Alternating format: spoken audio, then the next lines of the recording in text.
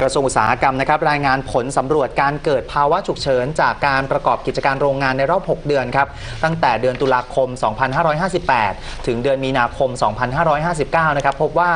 มีการแจ้งเหตุภาวะฉุกเฉิน 98 เรื่อง เป็นเหตุเพลิงไหม้มากที่สุดครับรองลงมาก็คืออุบัติเหตุ สารเคมีรั่วไหล การชุมนุมคัดค้านและเหตุระเบิด หรือเฉลี่ย 16 เรื่องต่อเดือนเลยนะครับ ลดลงอย่างน้อยจากช่วงเวลาเดียวกันของปีก่อนครับ ที่มีเหตุฉุกเฉินเกิดขึ้นเฉลี่ย 17 เรื่องต่อเดือนจังหวัดที่เกิดเหตุฉุกเฉินนะครับมี 34 จังหวัดครับ โดย 3 จังหวัดแรกก็คือกรุงเทพมหานคร รองลงมาคือชนบุรี ระยอง และสมุทรปราการครับ สาเหตุที่ทำให้เกิดเหตุฉุกเฉินในโรงงานต่างๆนะครับก็เพราะว่าความประมาทของผู้ที่เกี่ยวข้อง หรือการที่โรงงานนั้นไม่ได้ตรวจสอบระบบ อุปกรณ์ให้พร้อมใช้งาน ไม่มีแผนการรองรับภาวะฉุกเฉิน ขาดความชำนาญในการใช้เครื่องมือเครื่องจักรและส่วนใหญ่ก็จะเป็นโรงงานเก่านะครับที่มีอายุมากกว่า 10 ปี และเป็นโรงงานขนาดเล็กระดับ SME ครับค่ะ โดยสิ่งที่กระทรวงอุตสาหกรรมเป็นห่วงนะคะ คือแนวโน้มการเกิดภาวะฉุกเฉิน จากอุบัติเหตุ และจากการชุมนุมคัดค้าน ซึ่งเมื่อมีเหตุฉุกเฉินเกิดขึ้น เจ้าหน้าที่จะแจ้งเหตุให้ผู้บริหารกระทรวงทราบทันที และร่วมแก้ไขปัญหาร่วมกับหน่วยงานที่เกี่ยวข้อง เพื่อให้สถานการณ์คลี่คลาย หรือว่ายุติโดยเร็ว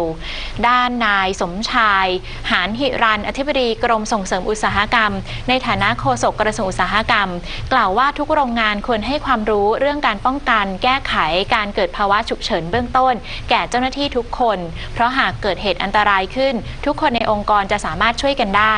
ขณะที่กระทรวงอุตสาหกรรมสั่งการให้กรมโรงงานอุตสาหกรรม และสำนักงานอุตสาหกรรมทุกจังหวัด แจ้งเตือนผู้ประกอบการ ให้ระมัดระวังเกี่ยวกับการประกอบกิจการเป็นระยะ เพื่อป้องกันอีกทางหนึ่งด้วยค่ะ ซึ่งที่ผ่านมานะครับกรมโรงงานก็มีมาตรการเชิงรุกครับเพื่อลดการเกิดอัคคีภัยในโรงงานอุตสาหกรรม